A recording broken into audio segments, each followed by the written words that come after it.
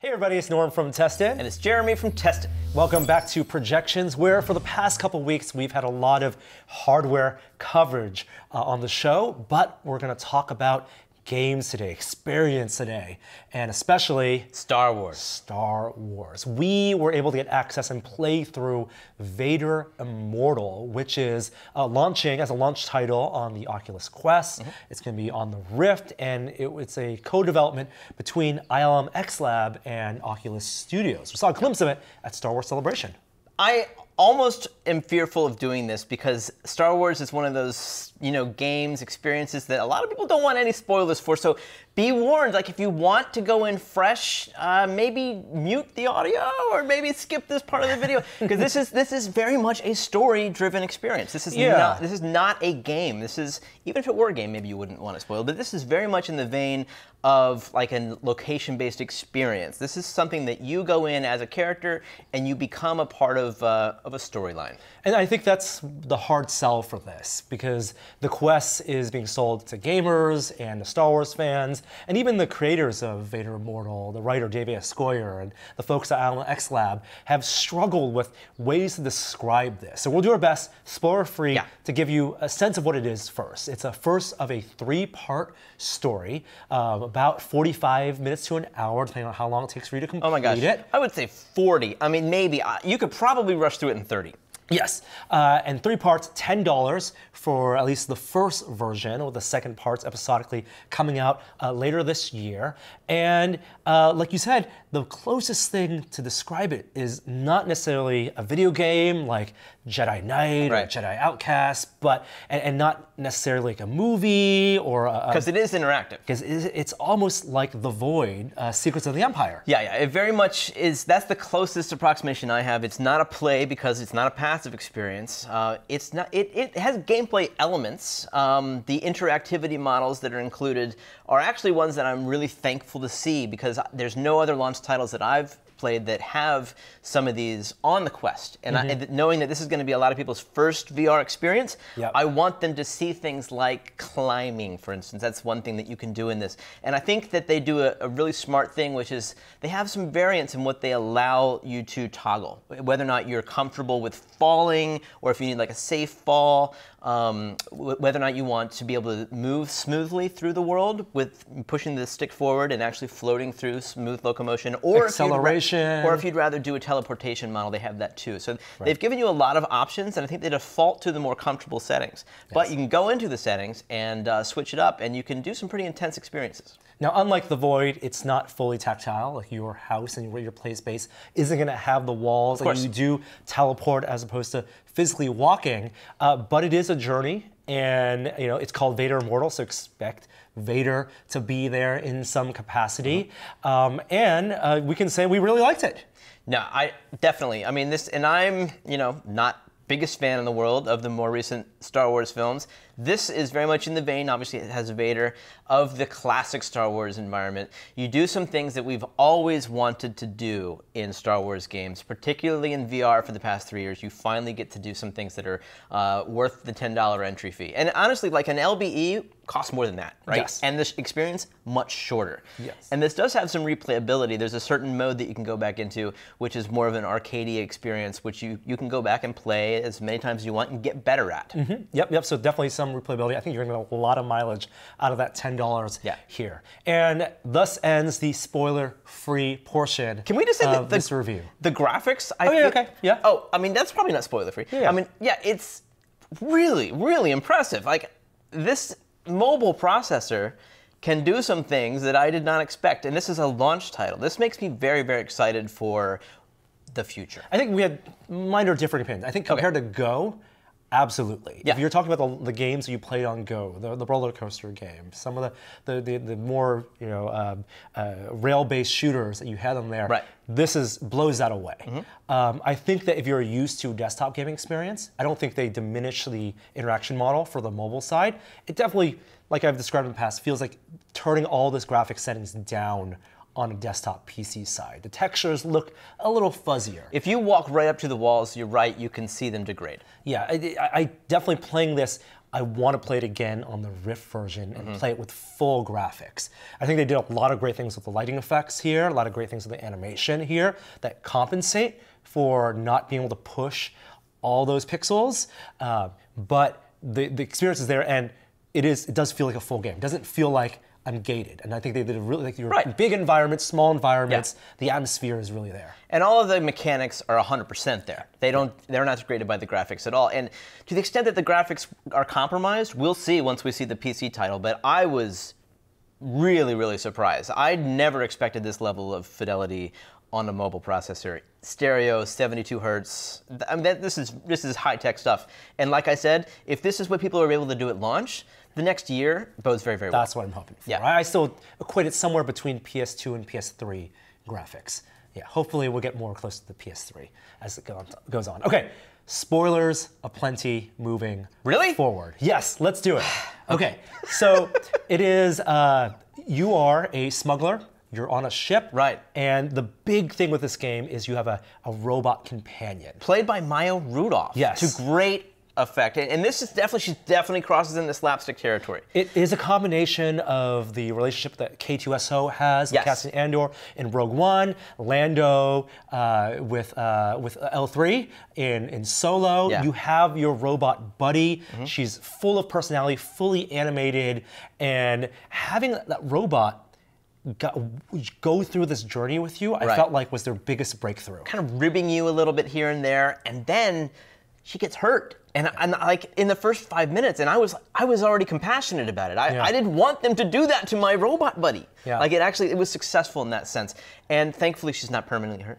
But uh, a great, great, great part of this You had said that you feel like the NPCs in this are some of the best that you've seen in VR for the past three years. I think VR has been lacking in this regard. Um, there are only a few VR experiences where I feel like the, inter- the, the animation, Yeah. the dialogue of the NPCs really feeling engaging. Um, I feel like Valve has done a great job with you know with the Aperture stuff, uh, with the robot repair, even the Steam VR tutorial. A lot of personality in those robots. Right. I think Lone Echo did a fantastic job of having an NPC that really empathized with, that, that was living in that world in the Yeah. same space. Here, exactly the same. The NPC having Zoe, Zoe 3, the name of Maya Rudolph's character, go along with you in the journey as you're sneaking through Mustafar. Um, there was a moment in the game, in the story, where you're peering through some grates and you're watching Lord Vader have a conversation and go through something emotional. And, and, and it's scary because you're, you're kind of peering into Vader's world. You're spying on Vader. You're spying on Vader. And there's a moment something happens, and I instinctively turn to look at the NPC, and I saw the NPC was turning to look at me as if Yeah. like acknowledging, Right. this is kind of real. They do a good job of following your head movements. It's not like, especially in VR, they have to do things that you can't necessarily do in flat screen games, which is actually track your head movements because you might be able to move in a cutscene where they Yeah. don't anticipate. They do a great job of maintaining eye contact and keeping you in the game world. Um, on that note, if you actually do venture too far out of their game world, even if you're within Guardian, it goes to black. It says go back. You're breaking the rules. That's how they solve that problem. Right, they keep it funneled through the story. Right. Uh, it is like the most amazing Disney ride ever. Right, the Disney Whoa, attraction. easy now. Well, in, in that you're in this, you're on this planet. Yeah. Right. You are go. You are on a. You start off on a ship. You get captured by the, the Empire. Right. You see a star destroyer come above you. Yeah. You're you're then brought into the hangar. The stormtroopers come aboard. Right. They put you in the prison. You're interrogated by Vader himself. They get up close to you. Even the stormtroopers, when they first came on, I was like, I was like standing at attention. you're- you know? you're holding your hands yeah, up. because that's one of those things. Like in VR, this is a new, totally different experience than in Jedi Knight. Like, You're playing along. yes, you are standing next to a stormtrooper who is armed, and Mm-hmm. they're suddenly much more intimidating than they are on the movie screen. Yeah. Now you mentioned interaction models, Yeah. and there are a lot of things to interact with.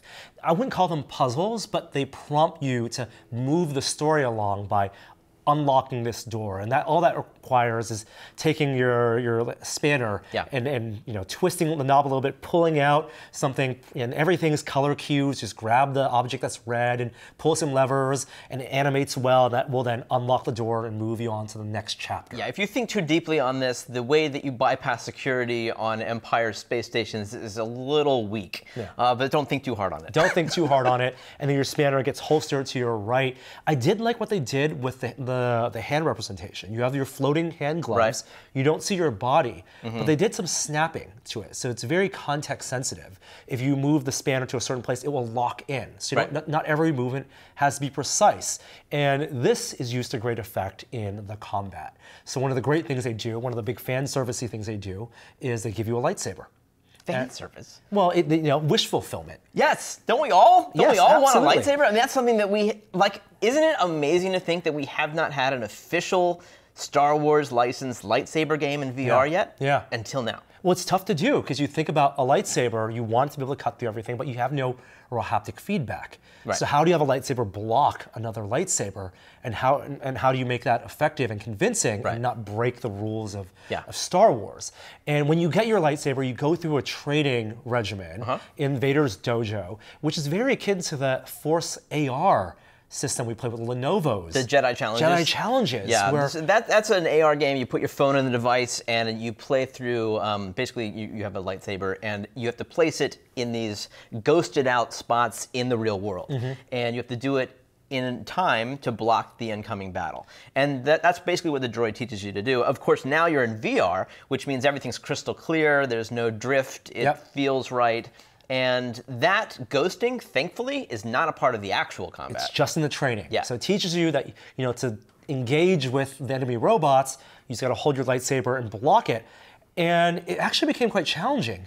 The robots' animations are so good Yeah. that you got to really watch where they're swinging to Right. deflect in a certain way. It's not entirely clear where they're going to be coming from. You can sort of get the gist of what direction, but Yeah. the movements are so complicated that you'll get hit. And I was really, really happy by that because it be, it was like, oh, okay, I got to try harder, and I can get this. And then you feel like you messed up, and then you get in the zone of it, and you start to feel like a bit of a Jedi. it is rewarding. Yeah. It's rewarding with the robots. Now you can't die. Your screen turns red a little bit. Can you die? Because I don't. die. I didn't think you could either. No. Like, there's blaster fire later. Unfortunately, you never get a blaster. I think that's an interesting choice on their part. Uh, it's an. It's easy to give somebody a gun. It's a lot harder to teach somebody to use, um, you know, a lightsaber defensively as well as on attack. Yes. That's beside the point, though. Um, yeah, I I did feel like there was a great sense of of skill as I got better and better at the game. ILM had previously experimented with um, VR in one of their their Tatooine, their, Yeah. uh, little mini game, when you had the same lightsaber element where you to deflect the blaster, and they have that same gameplay Yeah. uh, element here, where the stormtroopers are firing at you, droids are firing at you, and you got to swipe back at a certain time, and it is super rewarding. Uh, with the combat, they do a little bit of snapping as well. You can have two hands on the lightsaber. One hand's more comfortable because you're I actually didn't try that, holding yeah. to a lightsaber. You can hold it in either hand, but when you get to a certain point, you like if the lightsaber is pushing against you, your anima- your hand does push back a little bit. Okay. In the animation. but not enough to be uncomfortable or strange. Exactly, And you exactly. finally get to battle the training bot from Star Wars Episode Yeah, 4. yeah. Which is great. Like, I've wanted that since. I mean, I even asked the, the Jedi Challenges guys, when is that coming? And they didn't say, but I almost feel like they knew that this was in the works or something was because they, they said, well, we can't. Not, not only do you have to fight the, the training droids, there are, there's a whole training mode. This is where the replayability comes in. You Yeah. can finish the story and you load up the dojo, and it's almost like a combination of Fruit Ninja and Space Pirate Trainer. It starts off with the droid just popping up, and you slice them in half, and you do it quickly, you get your highest score, and you do have health here, so you don't want to get shot. Hmm. And as you progress, more of these droids fly up, and they fly around you, Mm-hmm. and it really takes advantage of the quest, where it's 360. Yeah. You're not just getting shot at from a droid that's over there, but also back there. So you're you're in a you know, full Jedi stance and deflecting and, and bouncing their blaster fire back. It's not easy. I got to stage four and five and was dying pretty pretty frequently. I love that that mode's in there because that is that's really 100% game. And what I wanted more from the main experience, the main campaign, was more of a game. And I think the way we've described it so far, it might sound like a game, like a short Yeah. game, but it really isn't. The fact that you can't die takes away a lot of the you know the stakes, risk. the stakes, the risk.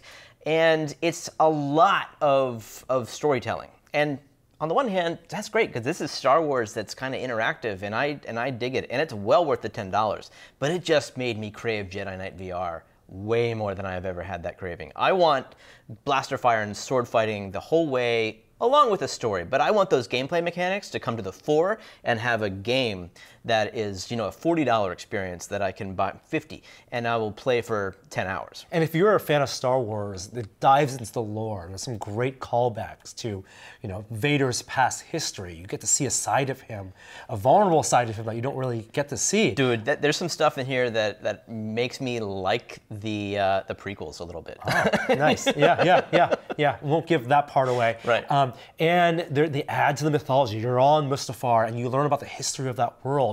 Uh, we'd be remiss not to mention there's one segment where you are told the history of the planet and it's told in Quill. It's a quill animation. That is going to be that's that was a great surprise for someone who follows VR. I was like, that's super clever, and I love the aesthetic change for that moment. I think for yeah. most people, it's just going to be kind of a nice shift.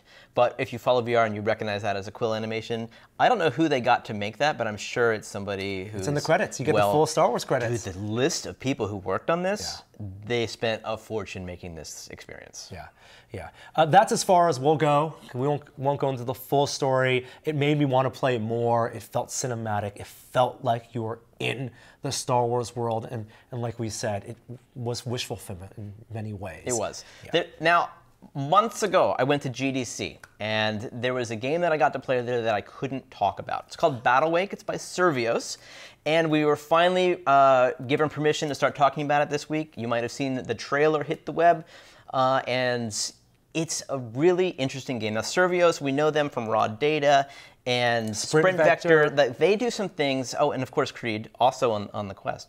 They do some things with interaction that I really respect. They're constantly switching it up. They're trying different things. Trying things with locomotion. They're really proud of their IK models, putting your full body, whether it's in boxing or racing yeah.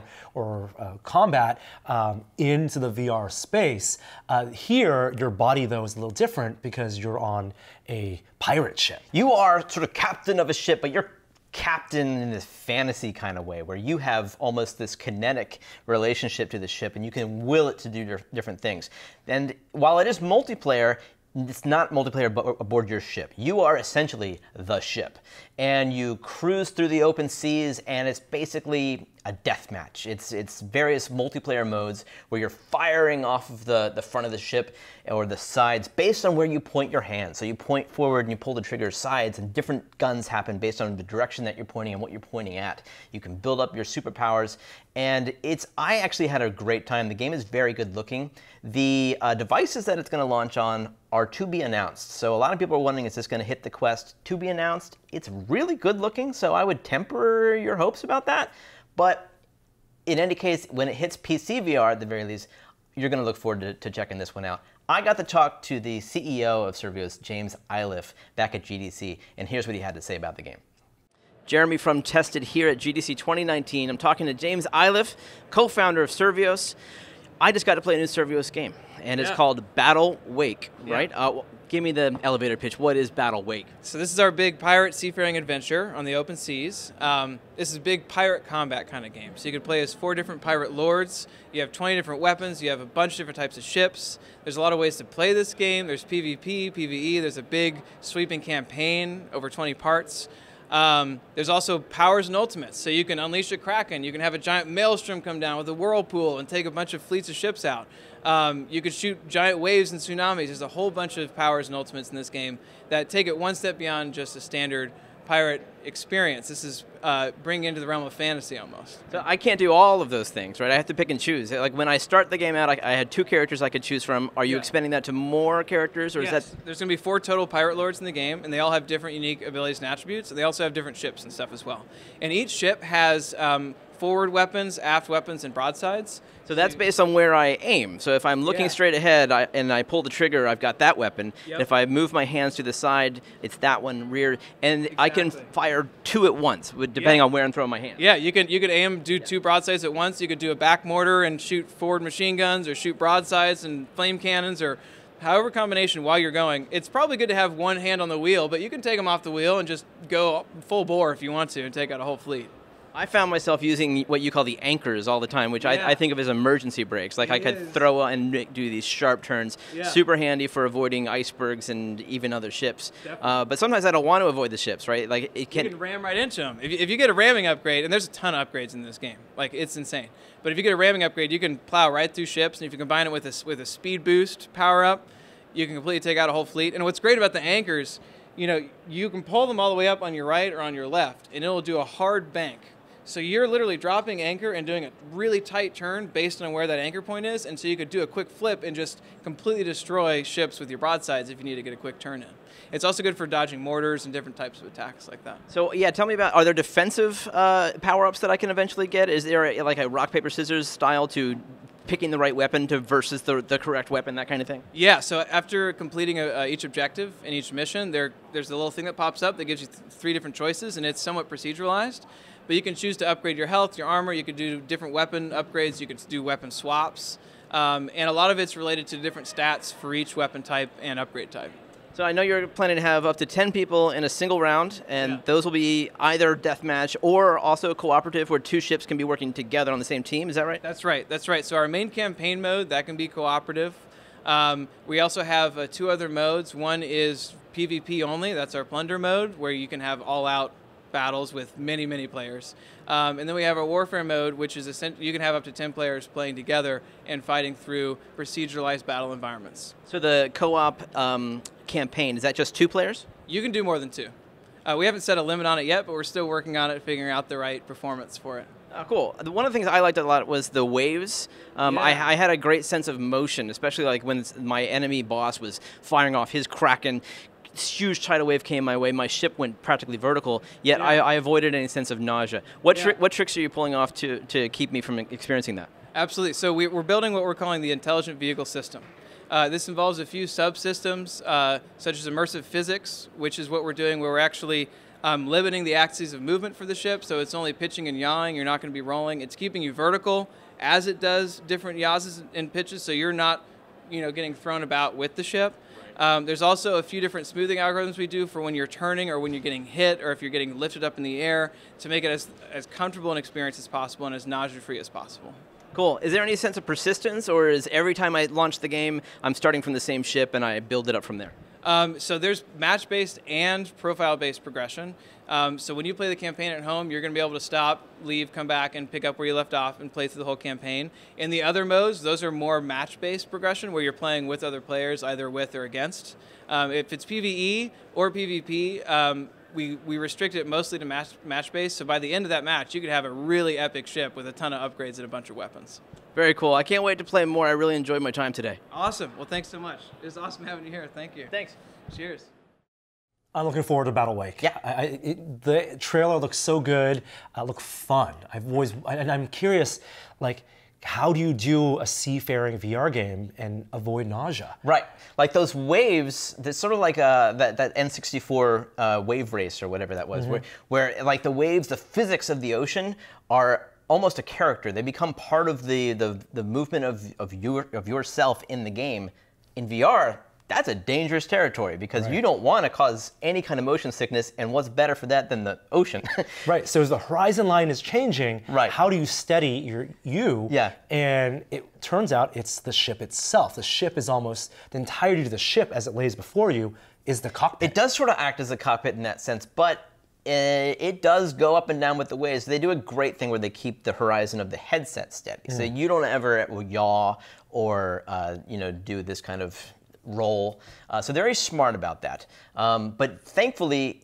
They still give you a great sense of motion. Like when the tidal wave comes towards you, like your ship does this, and you end up looking up there just naturally because that's where your ship went, and it comes crashing back down. It's a lot of fun. it's and those, very arcadey. it is def- this is definitely an arcade game, and I, I'll be very curious to see what the campaign is because I didn't get a good sense of that. But it's going to be a fun deathmatch game. There's a good skill, uh, you know, curve. The emergency brakes are super handy where you just grab this and you start to skid around. It's good for avoiding, uh, you know, any kind of mountain or other ship. Maybe you want to do it to hit another ship. Uh, but the power-ups are also fun. So you're constantly shooting all of your weapons, but then you build up your ability to throw out, you know, a big tentacle or con control a, a, kraken or that kind of thing. It's, it almost seems design-wise counterintuitive what people expected from a pirate ship game. Yeah. You know, play, people playing Sea of Thieves wanted that in VR, wanted you to treat that like a ship where you could teleport and run around and activate them things. Here, you're never moving. Everything is right around you, mm-hmm. from the wheel to the brakes to firing. So it's almost like you're in Power Wheels.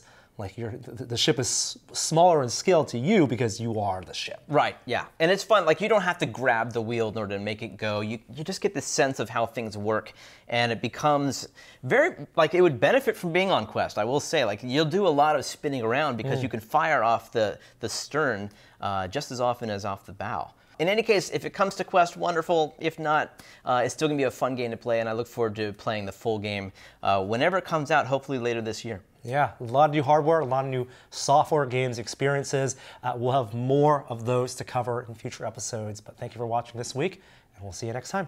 Bye.